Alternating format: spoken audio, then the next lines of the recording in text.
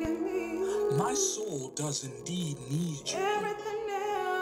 There are some problems that I can't overcome on my own. Give me you. So I need your strength, I Lord. I need your strength and power to help me overcome the obstacles I face.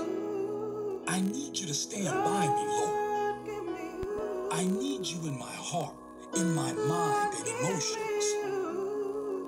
Your word in Isaiah 40, verse 29 says, He gives power to the faint, and to him who has no might, He increases strength. I'm on my It's in you that I can have victory. It's only through you that I can be a victor.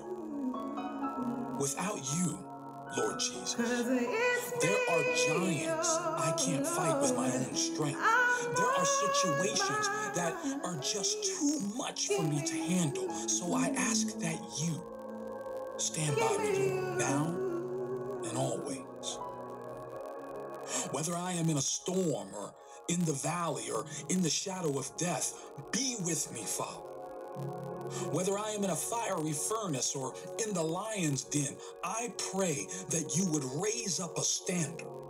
When the enemy comes at me like a flood, Lord Jesus, I look to you. I look to your saving grace. Your word in Psalms 121, verse 7 and 8 says, The Lord will keep you from all evil. He will keep your life. The Lord will keep your going out and your coming in from this time forth and forevermore. So when the devil attempts to attack me, I will hold on to this word that you, Lord, will keep me from all evil. You will preserve my life. You will not allow any strongholds to overcome me.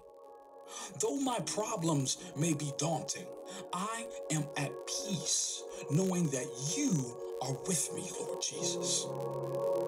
You have promised that you would never leave me or forsake me. So even when the odds are against me, I will count on you, Lord Jesus. Whether I am in the lion's den or in the eye of the storm, you are faithful. And I believe you will be with me and protect me.